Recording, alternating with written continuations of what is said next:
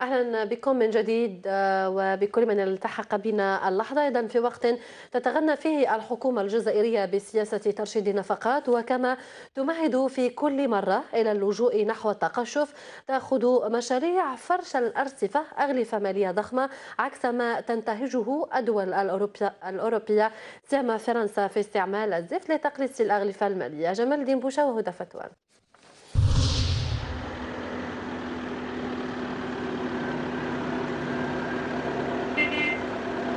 صور التقطتها كاميرا النهار من العاصمة الفرنسية باريس. الأرصفة هنا بعاصمة الجن والملائكة ليست ببلاط خاص ولا زفت من نوعية خارقة. استعمال الزفت في تعبيد الأرصفة سياسة خاصة تتبعها الحكومة الفرنسية لترشيد نفقات مشاريعها العمومية. لكن في الجزائر ملايير الدينارات تصرف على مشاريع لا تسمن ولا تغني من جوع. هنا بالمدن الكبرى. الأغلفة المالية الخاصة بالأرصفة مثلا تجاوزت كافة التوقعات.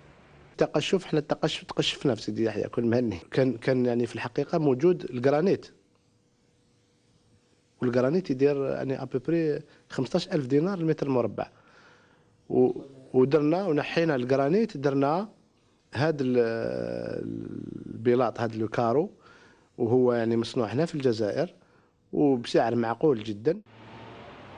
فرش الأرصفة عنوان آخر يرسم حجم الفرق بين المدن الجزائرية والعواصم الغربية هذه الأخيرة التي اختارت الزفت بدل قطع البلاط وما شابه قد لا تكون أحسن منا حالا ونحن في أوج الأزمة المالية Vous savez comment ça se passe ici en Algérie, donc euh, ils sont tout le temps en train, en train de refaire alors qu'ils peuvent euh, faire la même chose qu'en France, refaire les trottoirs avec du goudron ou bien ou bien du béton directement, non seulement c'est un gain d'argent pour eux, ça coûte moins cher et c'est plus économique, c'est efficace. سيدي يحيى عندهم ثلاث سنين هما يخدموا في هذول les trottoirs مازال ما كملهمش للدوك. مازالهم en travaux يا أخي فرنسا يا خو chantier même pas deux mois trottoir تلقاه fini القيمة المالية لمشاريعنا ومشاريعهم.